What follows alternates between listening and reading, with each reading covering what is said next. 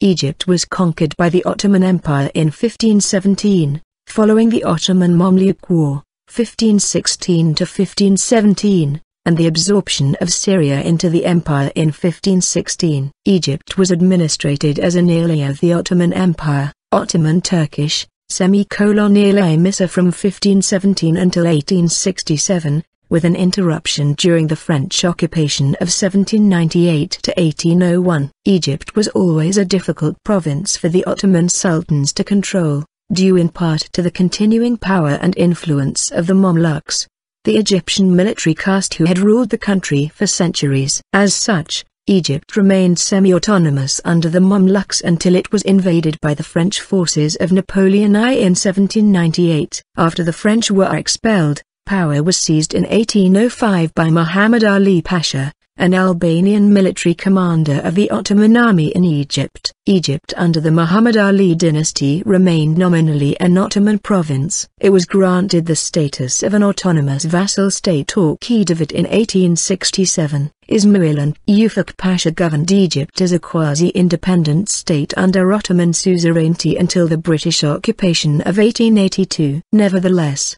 the Khedivate of Egypt, 1867-1914, remained a de jure Ottoman province until 5 November 1914, when it was declared a British protectorate in reaction to the decision of the Young Turks of the Ottoman Empire to join the First World War on the side of the Central Powers. After the conquest of Egypt, the Ottoman Sultan Selim I left the country. Grand Vizier Yunus Pasha was awarded the governorship of Egypt. However, the Sultan soon discovered that Yunus Pasha had created an extortion and bribery syndicate, and gave the office to Hay Bey, the former Mamluk governor of Aleppo, who had contributed to the Ottoman victory at the Battle of Majd The history of early Ottoman Egypt is a competition for power between the Mamluks and the representatives of the Ottoman Sultan. The register by which a great portion of the land was a fief of the Mamluks was left unchanged allowing the Mamluks to quickly return to positions of great influence.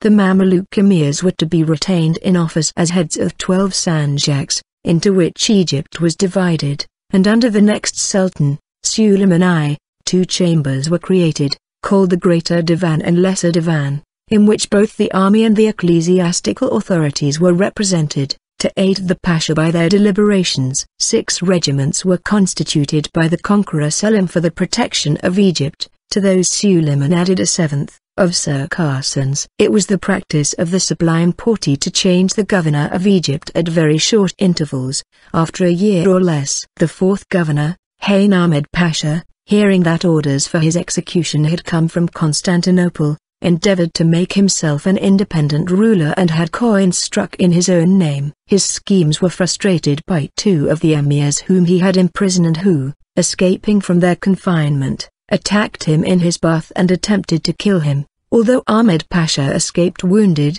he was soon captured and executed by the Ottoman Sultan's forces. 1527 to 1610 In 1527, the first survey of Egypt under the Ottomans was made. The official copy of the former registers having perished by fire, this new survey did not come into use until 1605. Egyptian lands were divided into four classes, the Sultan's domain, fiefs, land for the maintenance of the army, and lands settled on religious foundations. The constant changes in the government seem to have caused the army to get out of control at an early period of the Ottoman occupation and at the beginning of the 17th century mutinies became common. In 1604, Governor Maktul Haq Ibrahim Pasha, then known just as Ibrahim Pasha, was murdered by the soldiers, and his head set on the Bab Zuwayla, earning him the epithet Maktul, the slain. The reason for these mutinies was the attempt made by successive pashas to put a stop to the extortion called the Talba, a forced payment exacted by the troops from the inhabitants of the country by the fiction of debts requiring to be discharged, which led to grievous usage. In 1609, something like civil war broke out between the army and the pasha, who had loyal regiments on his side and the Bedouins. The soldiers went so far as to choose a sultan, and to provisionally divide the regions of Cairo between them. They were defeated by the governor Kara Pasha, who, on February 5, 1610, entered Cairo in triumph, executed the ringleaders, and banished others to Yemen, earning him the nickname Kulkran, slavey breaker. Historians speak of this event as a second conquest of Egypt for the Ottomans. A great financial reform was then effected by Kara Mehmed Pasha, who readjusted the burdens imposed on the different communities of Egypt in accordance with their means. 1623 to 1656 With the troubles that beset the metropolis of the Ottoman Empire, the governors appointed thence came to be treated by the Egyptians with continually decreasing respect. In July 1623, an order came from the Porte dismissing Kara Mustafa Pasha, and appointing Sestasi Ali Pasha governor in his place. The officers met the deputy of the newly appointed governor and demanded from him the customary gratuity. When the deputy refused, they sent letters to the Porte declaring that they wished to have Kara Mustafa Pasha, and not Sestasi Ali Pasha, as governor. Meanwhile, Sestasi Ali Pasha had arrived at Alexandria and was met by a deputation from Cairo telling him that he was not wanted. He returned a mild answer. When a rejoinder came in the same style as the first message, he had the leader of the deputation arrested and imprisoned. The garrison of Alexandria then attacked the castle and rescued the prisoner, whereupon Sestasi Ali Pasha was compelled to re-embark on his ship and escape. Shortly thereafter, a rescript arrived from Constantinople confirming Kara Mustafa Pasha in the governorship. Mustafa was succeeded by Bayram Pasha in 1626. Officers in the Ottoman Egyptian army were appointed locally from the various militias, and had strong ties to the Egyptian aristocracy. Thus Ridwan Bey, a Mamluk emir, was able to exercise de facto authority over Egypt from 1631 to 1656. In 1630, Koca Musa Pasha was the newly appointed governor, when the army took it upon themselves to depose him, in indignation at his execution of Kids Bey, an officer who was to have commanded an Egyptian force required for service in Persia. Koca Musa Pasha was given the choice of handing over the executioners to vengeance, or to resigning his place. As he refused to do the former, he was compelled to do the latter. In 1631, a rescript came from Constantinople, approving the conduct of the army and appointing Halil Pasha as Koca Musa Pasha's successor. Not only was the governor unsupported by the Sultan against the troops, but each new governor regularly inflicted a fine upon his outgoing predecessor, under the name of money due to the treasury the outgoing governor would not be allowed to leave Egypt until he had paid it. Besides the extortions to which this practice gave occasion, the country suffered greatly in these centuries from famine and pestilence. In the spring of 1619, pestilence is said to have killed 635,000 persons and, in 1643, completely desolated 230 villages. Later Ottoman period 1707 to 1755. By the 18th century, the importance of the Pasha was superseded by that of the Mamluk Beys. Two offices, those of Sheikh al-Balad and Emir al-Hajj, which were held by Mameluks, represented the real headship of the community. The process by which this came about is obscure, owing to the want of good chronicles for the Turkish period of Egyptian history. In 1707, the Sheikh al-Balad, Qasim Aiwaz, was the head of one of two Mameluke factions, the Qasimites and the Fiqarites, between whom the seeds of enmity were sown by the Pasha of the time, with the result that a fight took place between the factions outside Cairo, lasting 80 days. At the end of that time, Qasim was killed and the office which he had held was given to his son Ismail. Ismail held this office for 16 years, while the pashas were constantly being changed, and succeeded in reconciling the two factions of Mamelukes. In 1711, an event known to chroniclers as the Great Sedition and the Revolution occurred, when a religious fanatic preacher began to publicly denounce the practice of praying at the graves of Sufi saints, sparking a religious movement that wasn't crushed for three years until 1714. In 1724, Ismail was assassinated through the machinations of the Pasha, and Shirkaz Bey, of the opposing faction, was elevated to the office of Sheikh al-Balad in his place. He was soon driven from his post by one of his own faction called Huel Fiqar, and fled to Upper Egypt. After a short time, he returned at the head of an army, and in the last of the ensuing battles Shirkuz Bey met his end by drowning. Huelfikar was himself assassinated in 1730. His place was filled by Uthman Bey, who had served as his general in this war. In 1743, Uthman Bey was forced to fly from Egypt by the intrigues of two adventurers, Ibrahim and Ridwan Bey, who, when their scheme had succeeded, began a massacre of Beys and others thought to be opposed to them. They proceeded to govern Egypt jointly, holding the offices of Sheikh al-Balad and Emir al-Hajj in alternate years. An attempt by one of the pashas to remove these two by a coup d'etat failed, owing to the loyalty of the Bey's armed supporters, who released Ibrahim and Ridwan from prison and compelled the pasha to flee to Constantinople. An attempt by a subsequent pasha, in accordance with secret orders from Constantinople, was so successful that some of the Beys were killed. Ibrahim and Ridwan escaped and compelled the Pasha to resign his governorship and return to Constantinople. Ibrahim was assassinated shortly afterwards by someone who had aspired to occupy one of the vacant bishops, which had instead been conferred upon Ali, who, as Ali Bey, was destined to play an important part in the history of Egypt. The murder of Ibrahim Bey took place in 1755, and his colleague Ridwan perished in the subsequent disputes. Ali Bey, who had first distinguished himself by defending a caravan in Arabia against bandits, set himself the task of avenging the death of his former master Ibrahim. He spent eight years in purchasing Mamelukes and winning other adherents, exciting the suspicions of the Sheikh al-Balad Khalil Bey, who organized an attack upon him in the streets of Cairo in consequence of which he fled to Upper Egypt. Here he met one Sailor Bey, who had injuries to avenge upon Khalil Bey, and the two organized a force with which they returned to Cairo and defeated Khalil. Khalil was forced to flee to Iafla, where for a time he concealed himself. Eventually he was discovered, sent to Alexandria, and finally strangled. After Ali Bey's victory in 1750, he was made Sheikh al-Balad. He executed the murderer of his former master Ibrahim, but the resentment which this act aroused among the Beys caused him to leave his post and flee to Syria, where he won the friendship of the governor of Acre, Daher el-Omar, who obtained for him the goodwill of the Porte and reinstatement in his post as Sheikh al-Balad.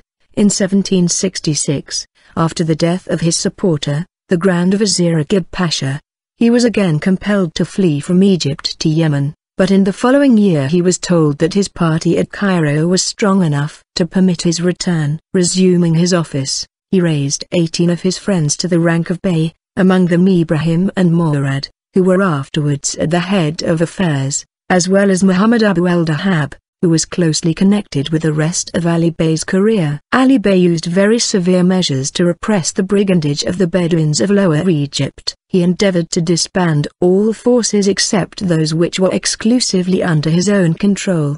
In 1769, a demand came to Ali Bey for a force of 12,000 men, to be employed by the Porte in the Russo-Turkish War of 1768-1774. It was suggested at Constantinople, however, that Ali would employ this force when he collected it for securing his own independence, and a messenger was sent by the Porte to the Pasha with orders for Ali's execution. Ali, being apprised of the dispatch of this messenger by his agents in Constantinople, ordered that the messenger be waylaid and killed. The dispatches were seized and read by Ali before an assembly of the Beys, who were assured that the order for execution applied to all alike, and he urged them to fight for their lives.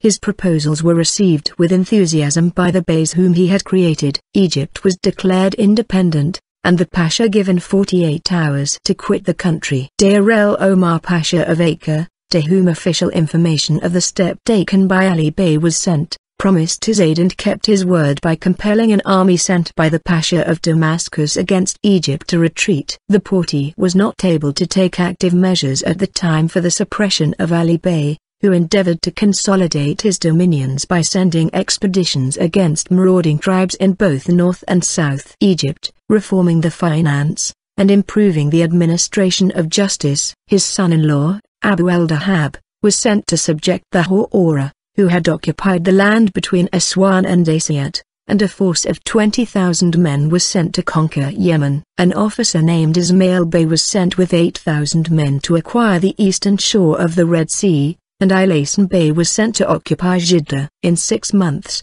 the greater part of the Arabian Peninsula was subject to Ali Bey, and he appointed a cousin of his own as Sharif of Mecca, who bestowed on Ali by an official proclamation the titles Sultan of Egypt and Khan of the Two Seas, in 1771. In virtue of this authorization, he then struck coins in his own name and ordered his name to be mentioned in public worship. Abu el-Dahab was sent with a force of 30,000 men in the same year to conquer Syria, and agents were sent to negotiate alliances with Venice and Russia. Reinforced by Ali Bey's ally Daher el-Omar, Abu el-Dahab easily took the chief cities of Palestine and Syria, ending with Damascus but at this point he appears to have entered into secret negotiations with the Porte, by which he undertook to restore Egypt to Ottoman suzerainty. He proceeded to evacuate Syria, and marched with all the forces he could collect to Upper Egypt, occupying Asyut in April 1772.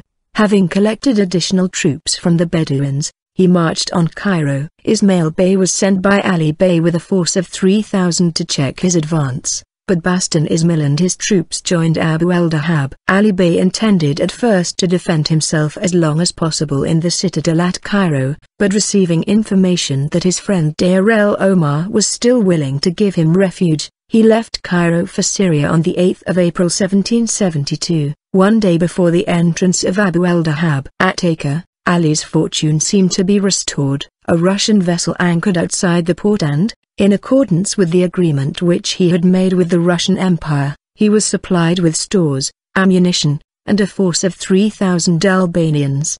He sent one of his officers, Ali Bey al-Tantawi, to recover the Syrian towns evacuated by Abu el-Dahab now in the possession of the Porte.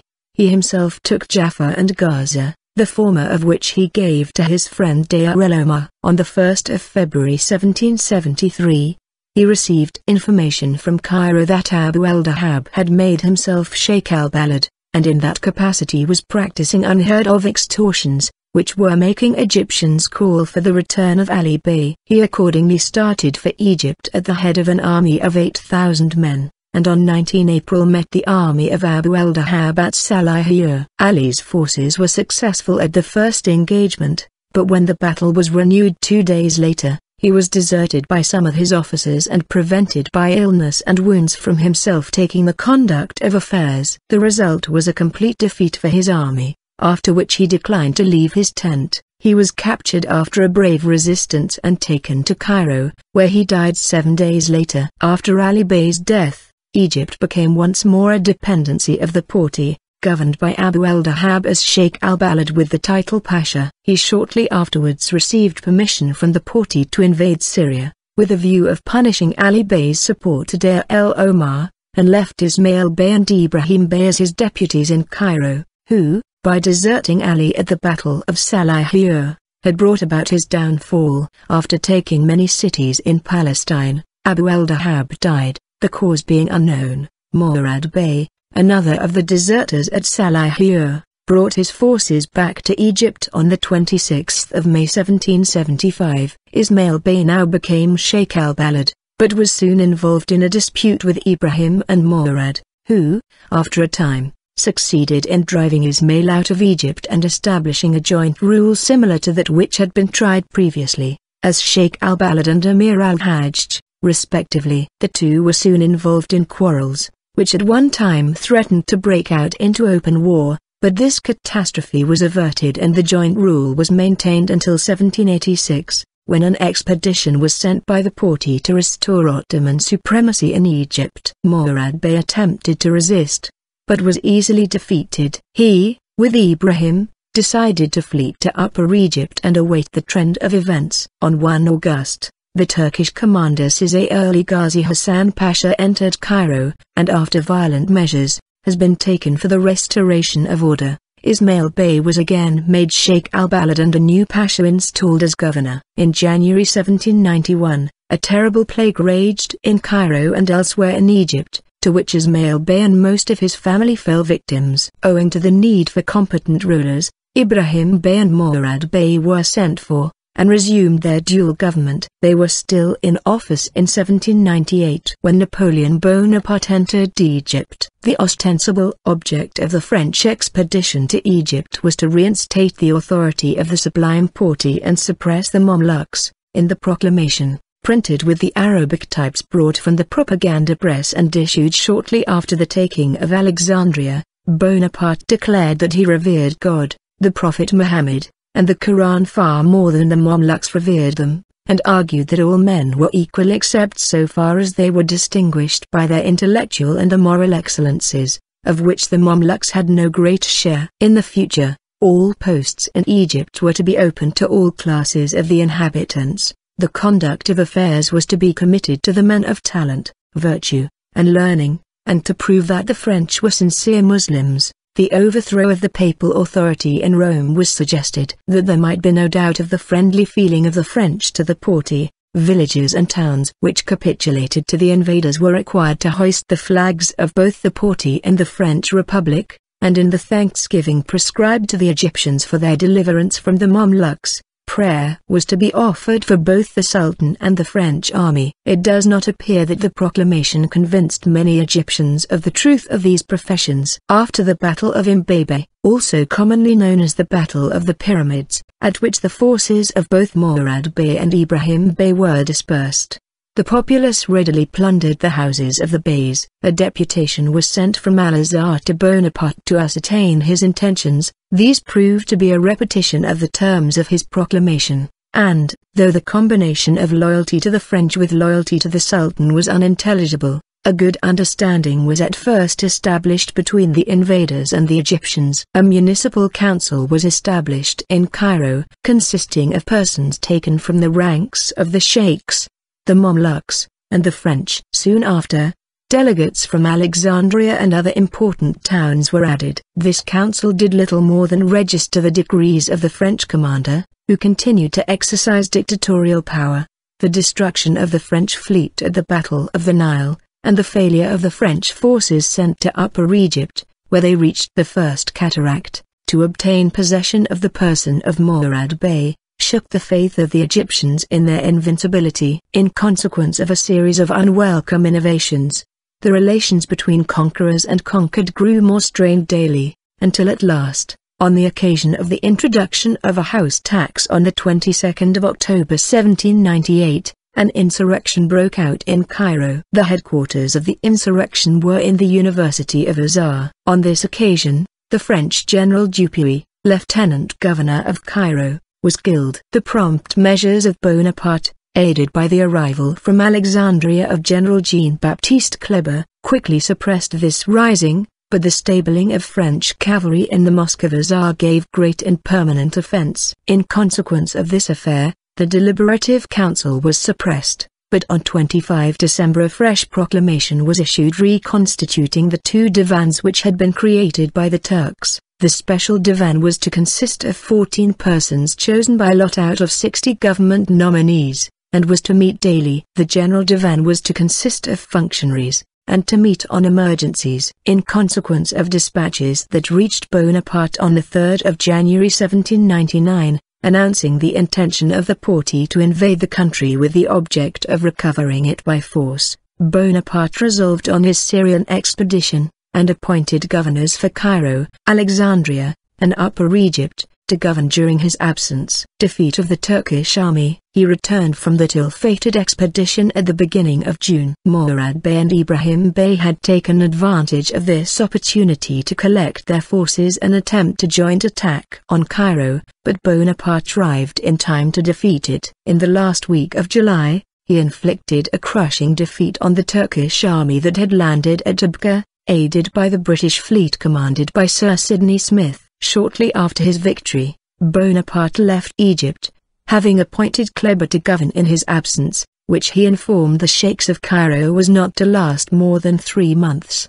Kleber regarded the condition of the French invaders as extremely perilous, and wrote to inform the French Republic of the facts. A double expedition was sent by the Porte shortly after Bonaparte's departure for the recovery of Egypt, one force being dispatched by sea to Damietta, while another under Yusuf Pasha took the land route from Damascus by Al-Arish. The first force had some success, in consequence of which the Turks agreed to a convention on the 24th of January 1800, by virtue of which the French were to quit Egypt. The Turkish troops advanced to Bilbeis, where they were received by the sheikhs from Cairo. The Mamluks also returned to Cairo from their hiding places. Before the preparations for the departure of the French were completed, Orders came to Smith from the British government forbidding the carrying out of the convention unless the French army were treated as prisoners of war. When these orders were communicated to Kleber, he cancelled the orders previously given to the troops and proceeded to put the country in a state of defense.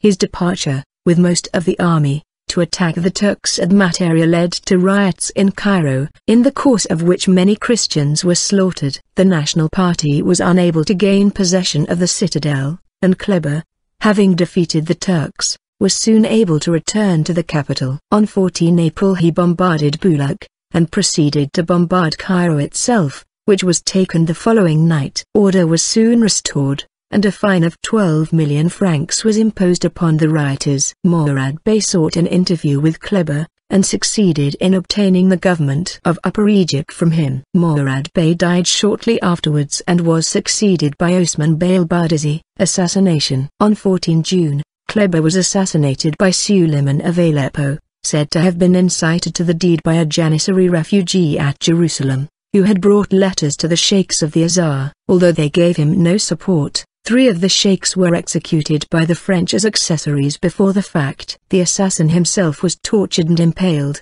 despite the promise of a pardon if he named his associates. The command of the army then devolved on General J.F.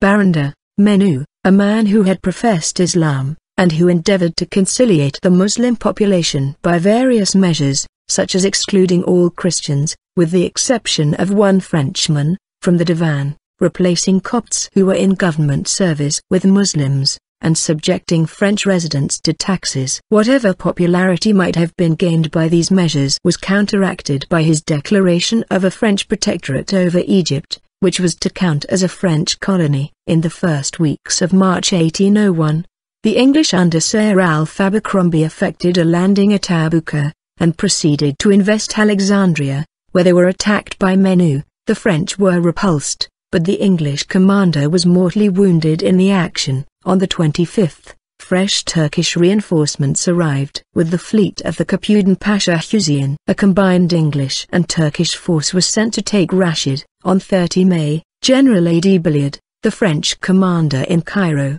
was assailed on two sides by British forces under General John Hely-Hutchinson and Turks under Yusuf Pasha. After negotiations, Belliard agreed to evacuate Cairo and to sail with his 13,734 troops to France. On 30 August, Menou was compelled to accept similar conditions, and his force of 10,000 left Alexandria for Europe in September. This was the termination of the French occupation of Egypt.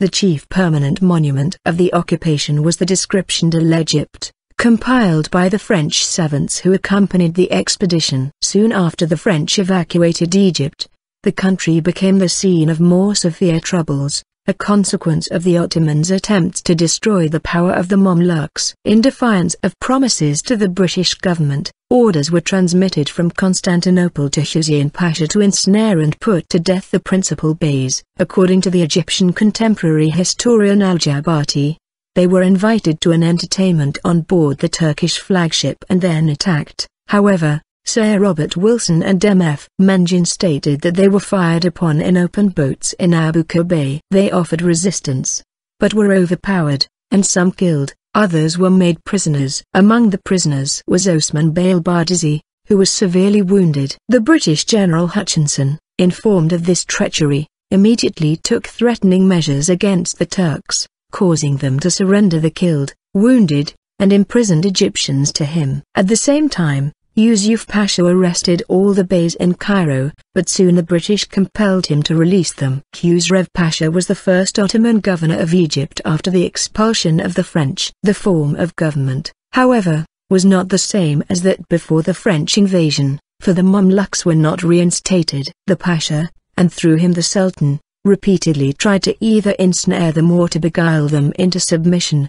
These efforts failing, Khusrev took the field and a Turkish detachment 7,000 strong was dispatched against the Mamluks to Damanhur, whence they had descended from Upper Egypt, and was defeated by a small force under either al-Alfi or his lieutenant al-Bardisi. Their ammunition and guns fell into the hands of the Mamluks. This led to a long civil war between the Albanians, Mamluks, and Ottomans. Campaign against the Saudis, 1811-1818, main article, Ottoman-Saudi War, acknowledging the sovereignty of the Ottoman Sultan and at his command, Muhammad Ali dispatched an army of 20,000 men, including 2,000 horses, under the command of his son Tusun, a youth of 16, against the Saudis in the Ottoman-Saudi War. By the end of 1811, Tusun had received reinforcements and captured Medina after a prolonged siege. He next took Jeddah and Mecca, defeating the Saudi beyond the latter and capturing their general. After the death of the Saudi leader Saud, Muhammad Ali concluded a treaty with Saud's son and successor, Abdullah I in 1815. Tusun returned to Egypt on hearing of the military revolt at Cairo, but died in 1816 at the early age of 20. Muhammad Ali, dissatisfied with the treaty concluded with the Saudis, and with the non-fulfillment of certain of its clauses, determined to send another army to Arabia. This expedition, under his eldest son Ibrahim Pasha, left in the autumn of 1816 and captured the Saudi capital of Diriyah in 1818. Reforms, 1808-1823 During Muhammad Ali's absence in Arabia his representative at Cairo had completed the confiscation, begun in 1808, of almost all the lands belonging to private individuals, who were forced to accept instead inadequate pensions. By this revolutionary method of land nationalization Muhammad Ali became proprietor of nearly all the soil of Egypt. The Pasha also attempted to reorganize his troops on European lines, but this led to a formidable mutiny in Cairo. The revolt was reduced by presents to the chiefs of the insurgents, and Muhammad Ali ordered that the sufferers by the disturbances should receive compensation from the treasury. The project of the Nizam Jadid, new system, was, in consequence of this mutiny, abandoned for a time. While Ibrahim was engaged in the Second Arabian Campaign the Pasha turned his attention to strengthening the Egyptian economy. He created state monopolies over the chief products of the country. He set up a number of factories and began digging in 1819 a new canal to Alexandria, called the Mahmudiyya, after the reigning Sultan of Turkey. The old canal had long fallen into decay, and the necessity of a safe channel between Alexandria and the Nile was much felt. The conclusion in 1838 of a commercial treaty with Turkey, negotiated by Sir Henry Bulwer, Lord Dalling, struck a death blow to the system of monopolies, though the application of the treaty to Egypt was delayed for some years. Another notable fact in the economic progress of the country was the development of the cultivation of cotton in the Delta in 1822 and onwards. The cotton grown previously had been brought from the Sudan by Maho Bey. By organizing the new industry, Within a few years Muhammad Ali was able to extract considerable revenues. Efforts were made to promote education and the study of medicine. To European merchants, on whom he was dependent for the sale of his exports, Muhammad Ali showed much favor and under his influence the port of Alexandria again rose into importance. It was also under Muhammad Ali's encouragement that the overland transit of goods from Europe to India via Egypt was resumed. Sultan Mahmud II was also planning reforms borrowed from the West, and Muhammad Ali, who had had plenty of opportunity of observing the superiority of European methods of warfare, was determined to anticipate the Sultan in the creation of a fleet and an army on European lines before the outbreak of the War of Greek Independence in 1821. He had already expended much time and energy in organizing a fleet and in training, under the supervision of French instructors, native officers and artificers. By 1823, he had succeeded in carrying out the reorganization of his army on European lines, the turbulent Turkish and Albanian elements being replaced by Sudanese and Fellahin.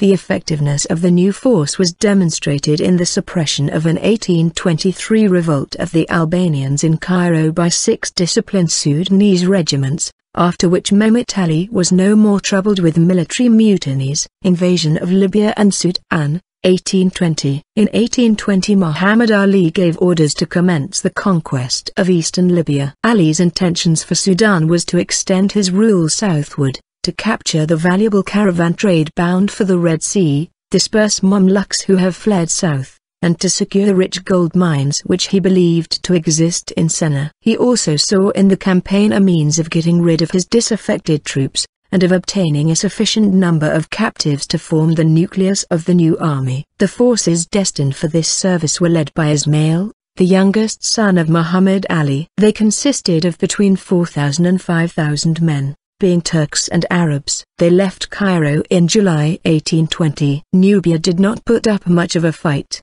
the Shaigiya Arabs immediately beyond the province of Dongola were defeated.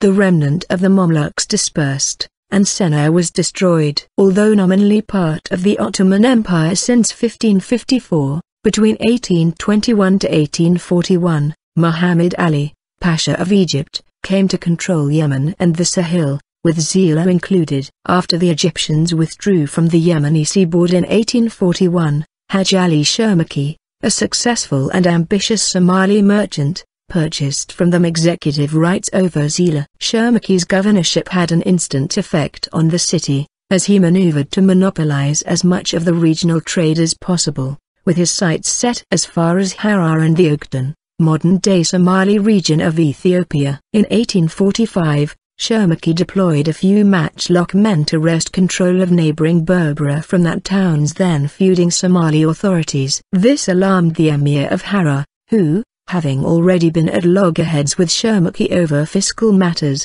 was concerned about the ramifications that these movements might ultimately have on his own city's commerce, the emir consequently urged Berbera's leaders to reconcile and mount a resistance against Shermarke's troops. Shermarke was later succeeded as governor of Zeila by Abu Bakr Pasha, a local Afar statesman. In 1874-75, the Egyptians obtained a firman from the Ottomans by which they secured claims over the city. At the same time, the Egyptians received British recognition of their nominal jurisdiction as far east as Cape Guardafui. In actuality, However, Egypt had little authority over the interior and their period of rule on the coast was brief, lasting only a few years, 1870-84. When the Egyptian garrison in Harar was evacuated in 1885, Zeila became caught up in the competition between the Tadjoura-based French and the British for control of the strategic Gulf of Aden littoral. I.M. Lewis mentions that by the end of 1885 Britain was preparing to resist an expected French landing at Zeila. However, the two powers decided instead to turn to negotiations. Ahmad Revolt, 1824 In 1824 a native rebellion broke out in Upper Egypt headed by Ahmed, an inhabitant of Al-Salimiyah, a village situated a few miles above Thebes. He proclaimed himself a prophet and was soon followed by between 20,000 and 30,000 insurgents, mostly peasants, but some of them deserters from the Nizam Jadid, for that force was yet in a half-organized state. The insurrection was crushed by Muhammad Ali, and about one-fourth of Ahmad's followers perished, but he himself escaped. The subsequent years saw an imposition of order across Egypt and Ali's new highly trained and disciplined forces spread across the nation. Ali's foresight in reforming his military forces was rewarded by the invitation of the Sultan to help him in the task of subduing the Greek insurgents offering as reward the pashaliks of the Moorland of Syria. In the autumn of 1824 a fleet of 60 Egyptian warships carrying a large force of 17,000 disciplined troops concentrated in Suda Bay, and, in the following March, with Ibrahim as commander-in-chief landed in the Morea.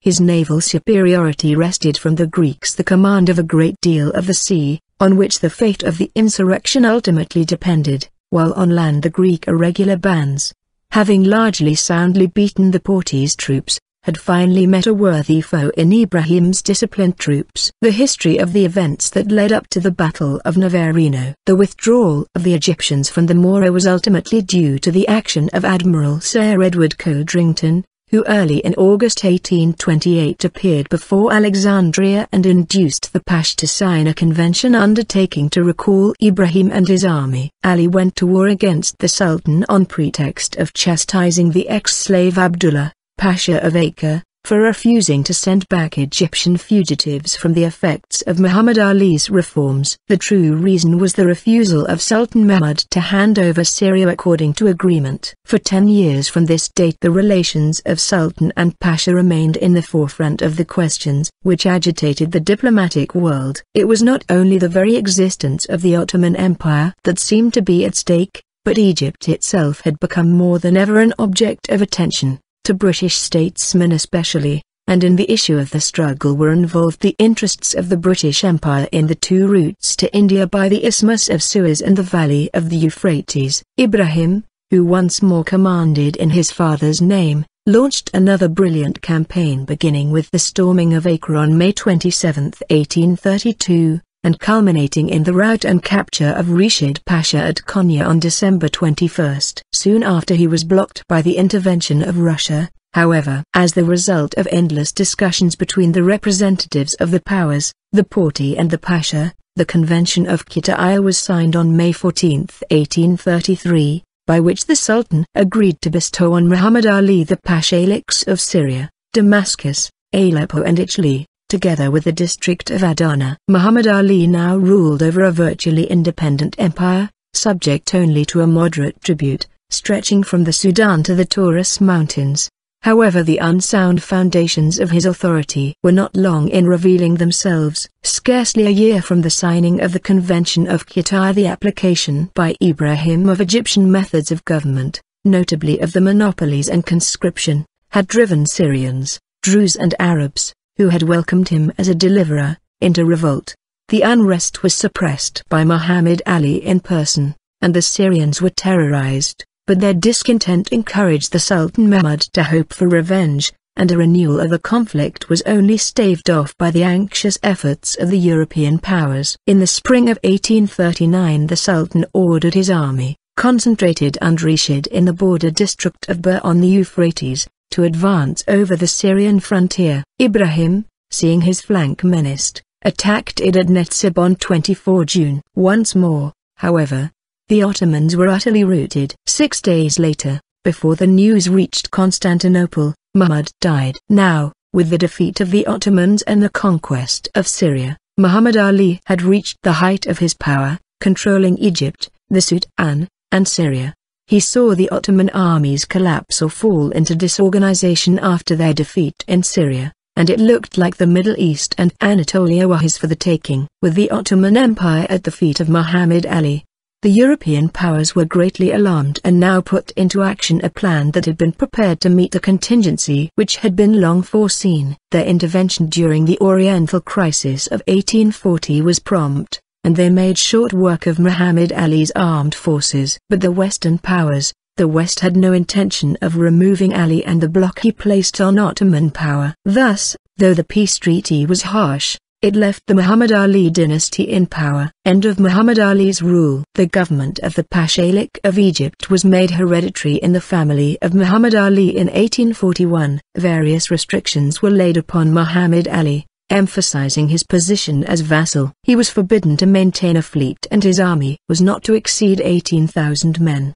The Pasha was no longer a figure in European politics, but he continued to occupy himself with his improvements in Egypt. The long wars combined with a murrain of cattle in 1842 and a destructive Nile flood. In 1843 there was a plague of locusts where whole villages were depopulated. In 1844-45 there was some improvement in the condition of the country as a result of financial reforms the Pasha executed. Muhammad Ali, who had been granted the honorary rank of Grand Vizier in 1842, paid a visit to Istanbul in 1846, where he became reconciled to his old enemy Khosrev Pasha, whom he had not seen since. He spared his life at Cairo in 1803. In 1847 Muhammad Ali laid the foundation stone of the Great Bridge across the Nile at the beginning of the Delta. Towards the end of 1847, the aged Pasha's previously sharp mind began to give way, and by the following June he was no longer capable of administering the government. In September 1848 Ibrahim was acknowledged by the Porte as ruler of the Pashalik,